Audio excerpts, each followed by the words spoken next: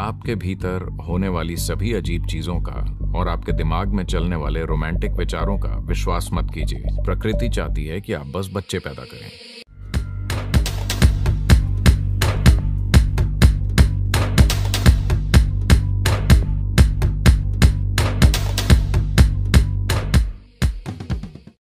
आप जितना किसी चीज़ के बारे में ना सोचने की कोशिश करते हैं, उतना ही आप उसके बारे में सोचने लगेंगे। मन की प्रकृति ही ऐसी है। तो कई वजह हैं कि कोई व्यक्ति सेक्स में लिप्त होता है। कुछ के लिए वो सिर्फ़ सुख है। कुछ के लिए ये बंधन और साहचर्य को मज़बूत करने का एक तरीका है। ये विचार आपको इसलिए आते हैं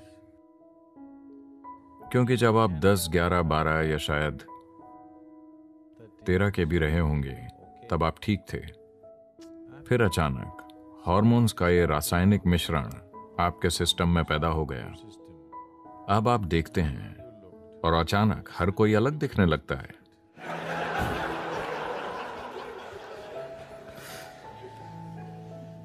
तो कुछ हार्मोन आपके सिस्टम में घुस गए और अचानक सब कुछ अलग दिखने लगा।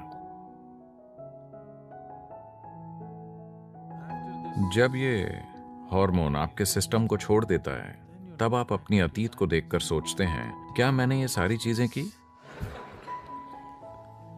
उनके आने से पहले भी ये इसी तरह दिखता था। उनके जाने के बाद भी सब इसी तरह दिखता है। उस बीच के अंतराल में जब आपके भीतर चोट होती है तो अचानक सब कुछ अलग दिखने लगता है।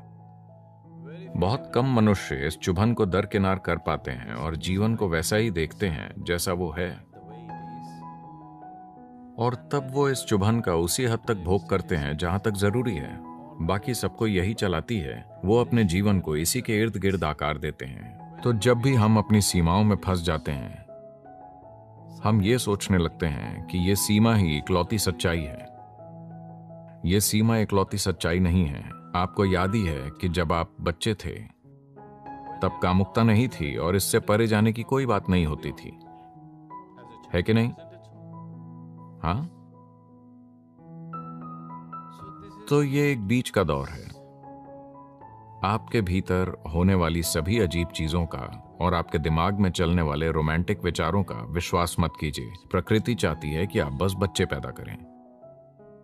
अगर यह आपको प्रेरित न करे तो आप ऐसा नहीं करेंगे। बच्चे के जन्म के दौरान दर्द होता है, पर फिर भी हमारी आबादी बहुत ज़्यादा है।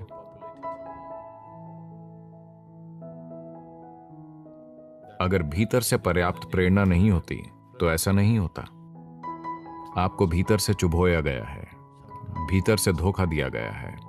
Once your hormones hijacked your intelligence, after that, wherever you look, you see only that. जब आपके हार्मोन्स आपकी बुद्धि पर कब्जा कर लेते हैं तब आप जो भी देखेंगे आपको केवल वही दिखाई देगा। उससे परे जाने के लिए एक तरह की जागरूकता और क्षमता ज़रूरी है। बात नकारने की नहीं है। बात उससे परे देखने की है। जब आप उससे परे देख लेते हैं तो आप उसकी सीमाओं को समझ जाते हैं। जो सीमित है, उसे सीमित तरीके से ही संभालना चाहिए। आपको उसके लिए अपना पूरा जीवन लगाने की ज़रूरत नहीं है है ना? आपके जीवन के एक छोटे से पहलू पर सिर्फ़ उतना ही ध्यान दिया जाना चाहिए।